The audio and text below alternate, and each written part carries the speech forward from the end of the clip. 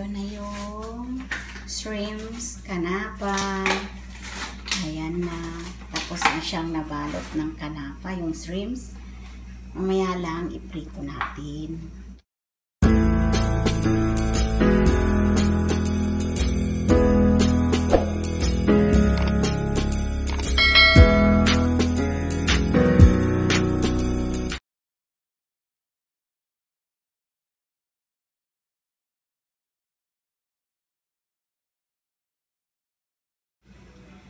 Gagawa tayo ngayon ng Kanafa shrimps.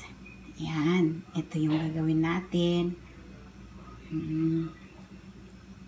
Gagawa tayo ng Kanafa shrimps. Yan. Ang kailangan natin is ito, tahiniya. Finest tahiniya and garlic mayonnaise. And freshly lemon butter. Mm. And also adonis fish spicy. At paprika. And ito ulit freshly French salad dressing. Yan. And freshly Italian salad dressing. Kailangan din natin yan. At Makati Makati sweet chili sauce yan yan ang kailangan natin sa uh, kanafa shrimps. Ito rin, ito yun, tinatawag na ti shredded tin do. Ito yung kanafa. Yan ang gamitin natin sa shrimps. Yan. Ito na yung shrimps. Nalagyan niya na, nalagyan na ng mga ingredients. So, i ibabad natin ng 1 hour.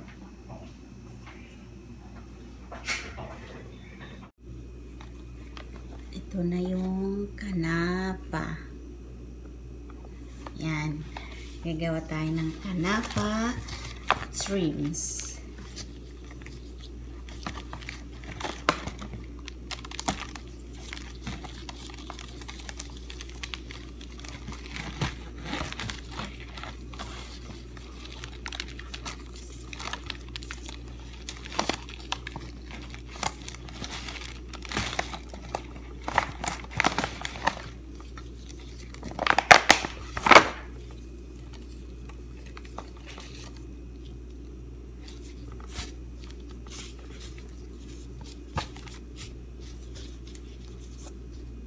Ito siya.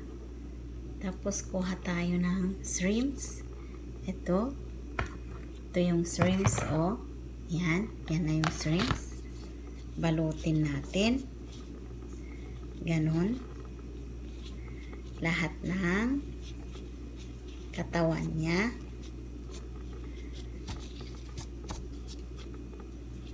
Hmm.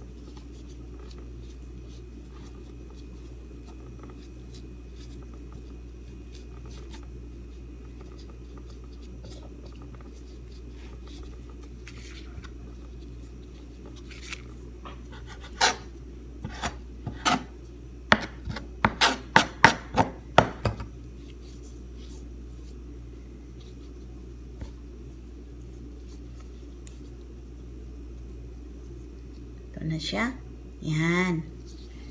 Ito yung kanafa uh, shrimps. Para ano, tanggalin natin yung nagbibitin sa katawan niya. Kasi kailangan natin balutin ng mabuti. Yan. Kanafa. Kanafa shrimps. Yan yung kanapa shrimps. Malambot naman pala siya. Oo, ito yung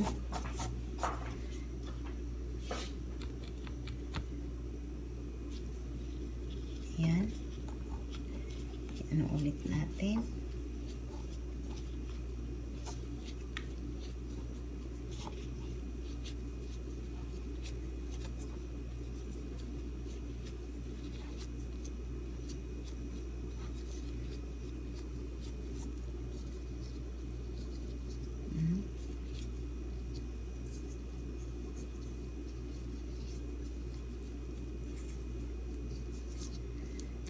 Kailangan.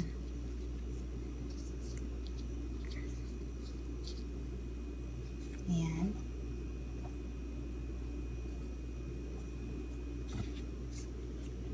Okay kaya siya. Kung di mo kuha ulit tayo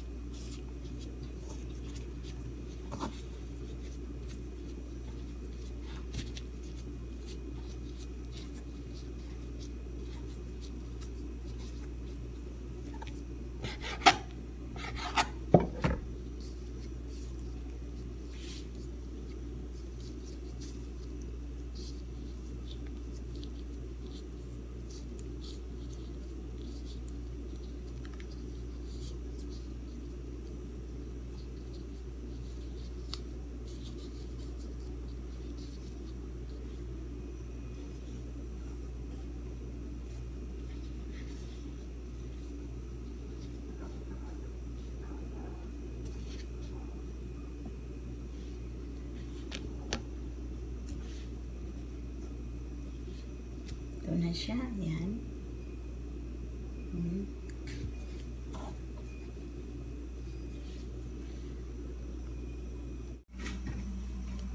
ito na yung shrimps, kanapa ayan na. Tapos na siyang nabalot ng kanapa yung shrimps. Mamaya lang iprito natin. Eh, ngayon lang Ayan.